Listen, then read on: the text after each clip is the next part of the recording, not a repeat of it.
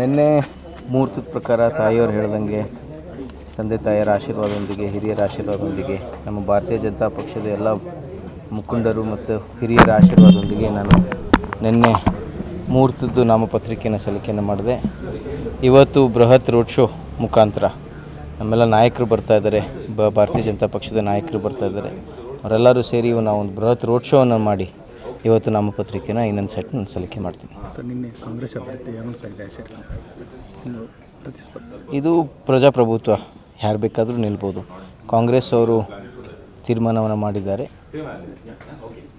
ನಾವು ತಂದೆಯವರು ಮಾಡಿರುವಂಥ ಅಭಿವೃದ್ಧಿ ಕೆಲಸಗಳು ಮುಂದೆ ಬರುವಂಥ ದಿನದಲ್ಲಿ ಅವ್ರ ಕನಸನ್ನು ನಾನು ನನಸು ಮಾಡ್ತೀನಿ. ಮತ್ತು ಅಷ್ಟೇ ಅಲ್ಲ ನನ್ನದೇ ಆದಂಥ ಒಂದು ಬರುವಂಥ ದಿನಗಳಲ್ಲಿ ಹೆಚ್ಚಿನ ಒತ್ತು ಶಿಕ್ಷಣ ಆರೋಗ್ಯ ರೈತರ ಆದಾಯನ ಹೆಚ್ಚು ಮಾಡಲು ಮತ್ತು ನಮ್ಮ ನಾರಿ ಶಕ್ತಿ ಯುವಕರ ಪರವಾಗಿ ಕೆಲಸವನ್ನು ಮಾಡ್ತೀನಿ.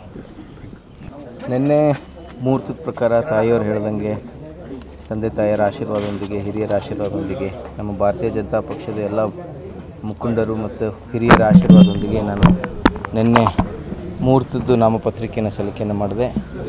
ಇವತ್ತು ಬೃಹತ್ ರೋಡ್ ಶೋ ಮುಖಾಂತರ ನಮ್ಮೆಲ್ಲ ನಾಯಕರು ಬರ್ತಾ ಇದ್ದಾರೆ ಭಾರತೀಯ ಜನತಾ ಪಕ್ಷದ ನಾಯಕರು ಬರ್ತಾ ಇದ್ದಾರೆ.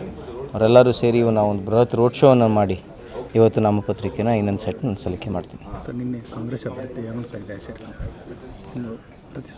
ಇದು ಪ್ರಜಾಪ್ರಭುತ್ವ ಯಾರು ಬೇಕಾದರೂ ನಿಲ್ಬೋದು.